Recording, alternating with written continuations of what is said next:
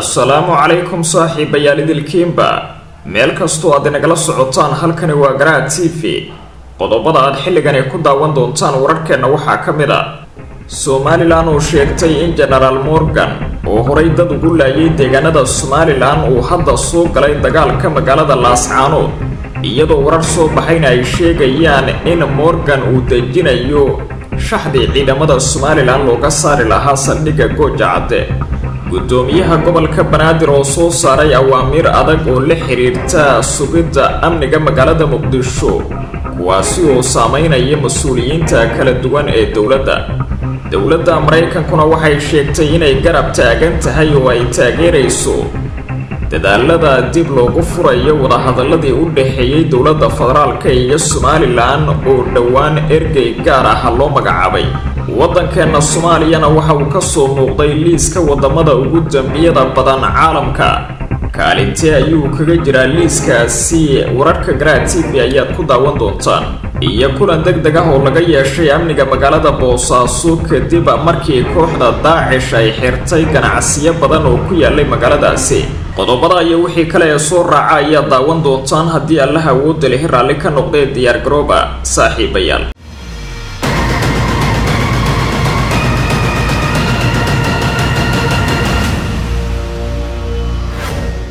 isku soo laabashaha boor mar kale daawadayaal halkani.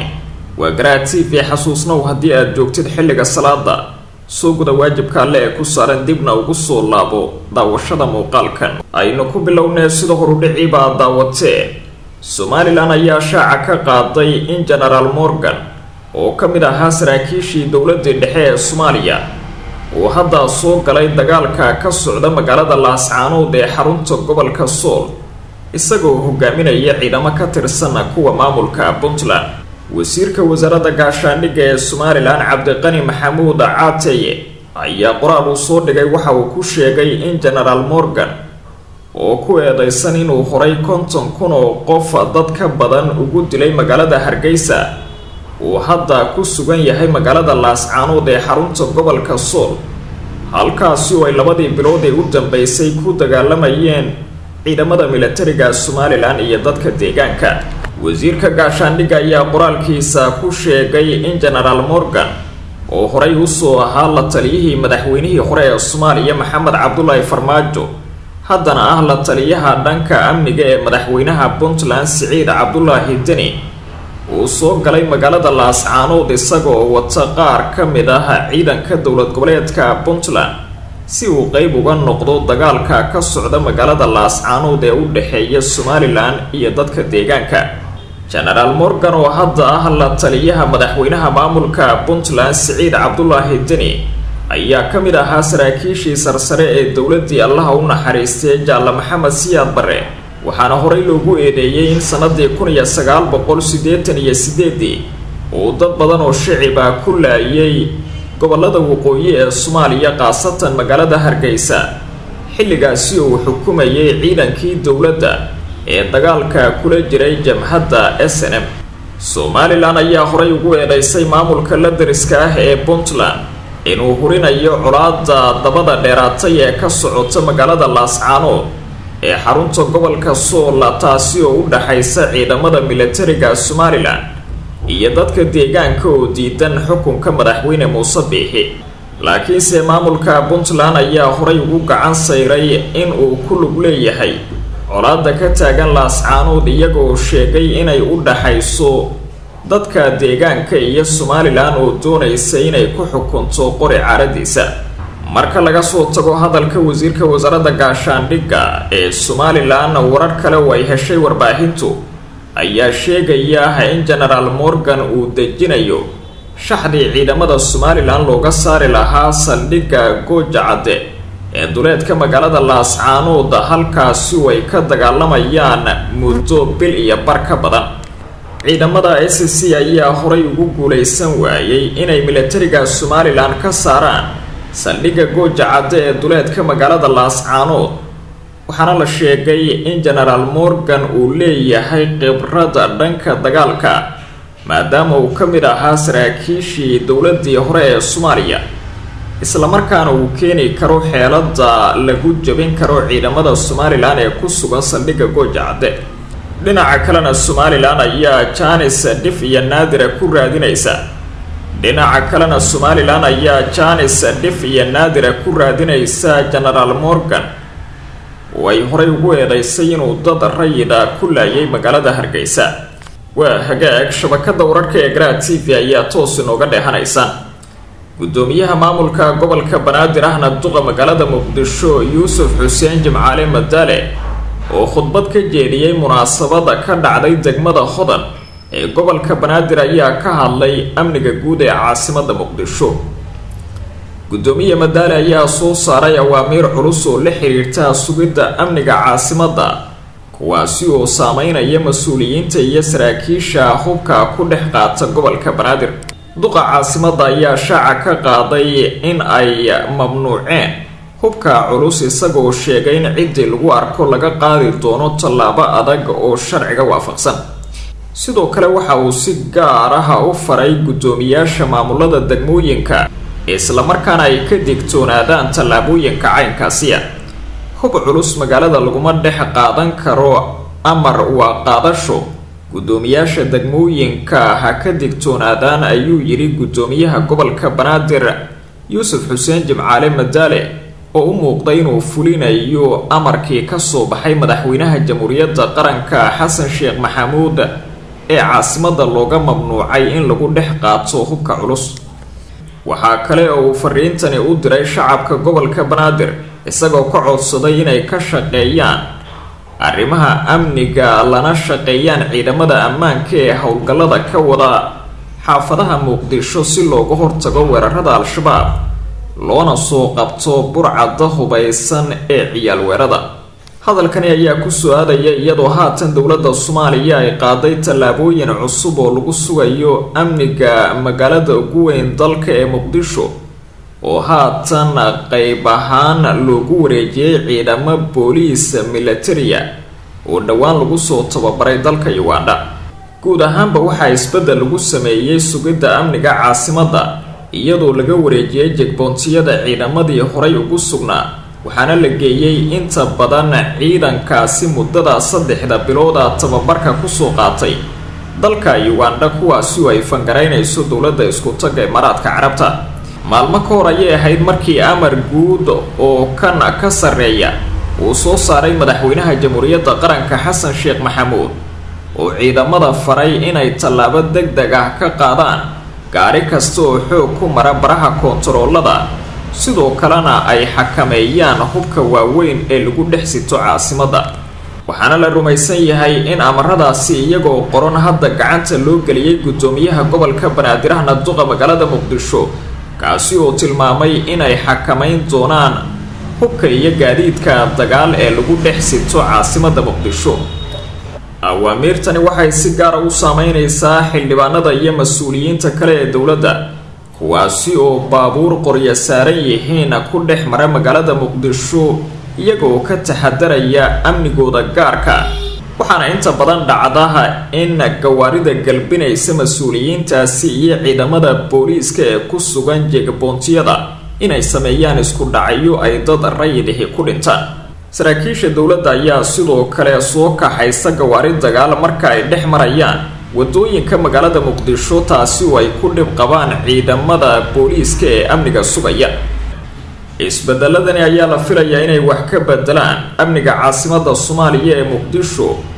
oo martigelinaysay qaraxyo iyo falal kale oo liddi ku ah nabadgelyada kuwaasi oo intooda badan ka imaanayay kooxda al-shabaab. Waa tahay safiirka xilka ka sii degaya ee dowladda maraykanka u qaabilsan soomaaliya ambasador larry andre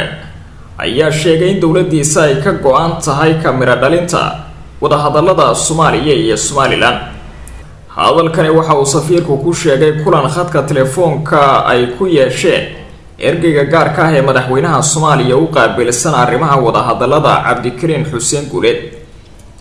ergeyga iyo danjiraha ayaa ka wada hadlay ahmiyadda iyo xoojinta wadahadalada soomaaliya iyo somalilan iyo sidii mustaqbalka dhow guul looga gaari lahaa wadaxaajoodyada danjiraha maraykanka ayaa u muujiyey taageero iyo garab istaaga ergeyga isagoo tilmaamay in dowladiisa ay ka go-an tahay kamiro dhalinta wadahadalada soomaaliya iyo somalilan. Dhowaan ayay ahayd markii somalilan ay soo dhaweysay magacaabidda ergeyga cusub iyagoo sheegay inay ku kalsoon yihiin inuu yahay nin hogaamin kara wadahadalada xogogaalna u ah xaalka iyo waxyaabaha ay isku hayaan labada dhinac. Geesta kalena ergeyga gaarka ah ee madaxweynaha soomaaliya u qaabilsan arrimaha wadahadalka cabdikariin xuseen gule ayaa kulan muhiima la qaatay qaar ka mid a hogaamiyaasha ururada bulshada rayidka soomaaliyeed kulanka oo ahaa mid wadatashi ah ayaa diradda lagu saaray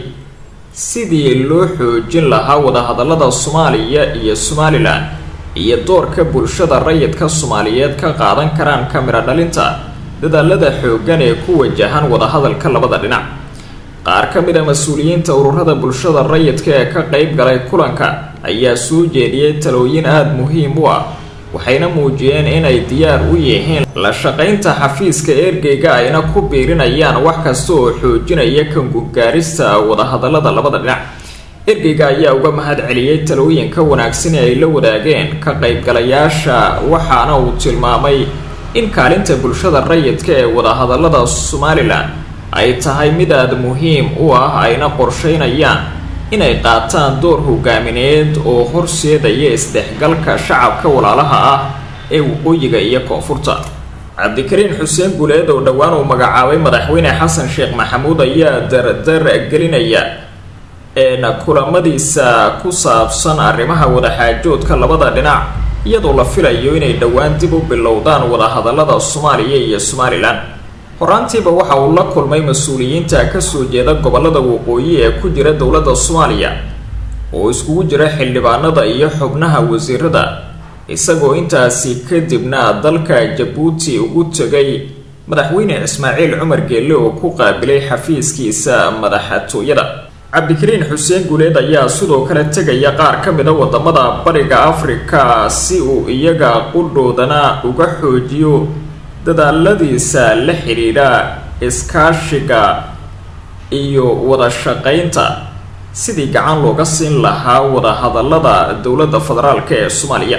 Hididiilo wanaagsan ayaa laga muujiyey dhowaan markii mucaaridka iyo muxaafidka somalilan ay si wadajir ah u soo dhaweeyeen magacaabista cabdikariin xuseen guuleed oo ay ku tilmaameen nin khibrad badan u leh arrimahani. Waana shaqsigii ugu horreeyey ee sidani looga soo dhaweeyay somalilan madaxweyne muuse biixi ayaa ku tilmaamay magacaabistiisa tallaabo loo qaaday dhanka wanaagga iyadoo guddoomiyaha xisbiga mucaaridka u cid injineer faysal cali waraabana uu sheegay inay si gaara saaxiib u yihiin cabdikariin xuseen guuleed oo horey u soo noqday madaxweynihii maamulka galmudug iyo wasiirkii wasaaradda arrimaha gudaha ee soomaaliya. Waa hagaag shabakada wararka ee garaa t v ayaa toos inooga dheehanaysaan. Majalada world of statics ayaa waxay soo bandhigtay qiimeynta waddamada ugu dambiyada badan guud ahaan caalamka waxaana tobanka dale ugu horreeya ka soo dhex muuqday dalkeena soomaaliya sida laga soo xigtay qiimeyntani soomaaliya ayaa ku soo baxday kaalinta sideedaad iyadoo kaalinta koowaad uu soo galay dalka venezuela ee dhaca xeebta waqooyi ee koonfurta america liiskani tobanka dale ugu horreeya ayaa liiskani tobanka dale ugu horeeyo ayaa kala ah venezuela oo lambarka koowaad joogta babu guinea oo lambarka labaada afghanistan oo lambarka saddexaada koonfur africa oo lambarka afraada honduros oo lambarka shanaada trinidad oo lambarka lixaad ku jirta guyana oo lambarka toddobaada suuriya soomaaliya iyo jamaica. Warbixinta sida lagu sheegay dembiyada ka dhaca soomaaliya ayaa iskugu jira dilal qorshaysan weeraro argagixiso iyo dhac. Inta badan falalkani waxaa geysta dagaalamayaasha al-shabaab iyo daacish iyo kooxo abaabulan oo burcad ah kana howlgala gudaha waddanka. Ciidanka dowladda soomaaliya ayaa sidoo kale waxay mararka qaarkood geystaan falal dembiyeedyo liddi ah iyo dhac. Walow xukuumadda ay si weyn hoos ugu dhigto arrinkaasi. Dhinaca kale hindiya ayaa gashay kaalinta toddobaatan iyo toddobaad halka maraykanka iyo u k ay ka horeeyaan hindiya maraykanka waxa uu ku jiraa lambarka konton iyo shanaad halka u k ay ku jirto darajada lixdan iyo shanaad sida ay sheegtay world of statics dowladaha turkiga jarmalka iyo jabaan ayaa sida laga soo xigtay qiimeyntani waxa ay ka mid yihiin dalalka ugu dembiyada yar kuwaasi oo kala galay sagaashan iyo labaad boqolaad iyo boqol iyo soddon iyo shanaad sidaasi ay u kala horeeyaan soomaaliya ayaa wixii ka dambeeyey markii ay burburtay dowladii dhexe ee waddanka sanadii kun iyo sagaal boqol sagaashan iyo kowdii. Waxa ay safafka hore ka fariisanaysay qiimeynta liisaska xun ee laga sameeyay caalamka. Haddii ay ahaan lahayd dhanka dembiyada musuq maasuqa iyo waxyaabaha la midka ah. Dadka soomaaliyeed oo riday dowladoodii awoodda lahayd sanadii kun iyo sagaal boqol sagaashan iyo kowdii ayaa ku guuldaraystay inay mar kale dib cagahooda ugu istaagaan islamarkaana ay helaan xasilooni buuxda. Waxaana muddadaasi dhowr iyo soddonka sano ah ee dalka aysan ka jirin dowlad awood leh sii badanayay dembiyada tacadiyada iyo gaboodfalka bulshada. Waa hagaaga taliska booliiska maamulka puntland ayaa si rasmiya u xaqiijiyay in kooxaha argagixisada ahi ay ganacsatada magaalada boosaaso ku soo rogeen lacaga baad ah maalin uun kadib markii ay xogtaasi baahisay warbaahinta. Laamaha ammaanka ee puntland ayaa ka daahay in ay tallaabo deg deg ah ka qaadaan arrintani waxaana dayacaasi ka dhashay weerar ay kooxda daacish ku gubtay dukaan weyn oo ay lahayd shirkadda ganacsiga ee almacruuf. Qiraalka hay'adaha amniga ayaa ka dambeeyey markii taliyaha ciidanka booliiska puntland sarreeye guuta muumin cabdi shire uu khamiista maanta ee ka qeyb galay shirka guddiga amniga ee gobolka bari. Qoraal ka soo baxay kulankaasi ayaa lagu sheegay in hay'adaha nabadgelyadu ay aqoonsadeen. Ciddii ka dambeysay gubitaanka goobta lagu dukaamaysto iyaga oo ka dhowrsaday eedeynta kooxda isis oo ka dambeysay falkaasi sida la tuhmay guddiga amnigu waxa uu farayaa maamulka mas'uuliyiinta iyo milkiilayaasha shirkadaha ganacsiga inay wada shaqeyn la yeeshaan hay'adaha amniga ee puntland ee ka howlgala magaalada boosaaso si ay ula wadaagaan wixii culays amni la xidhiidha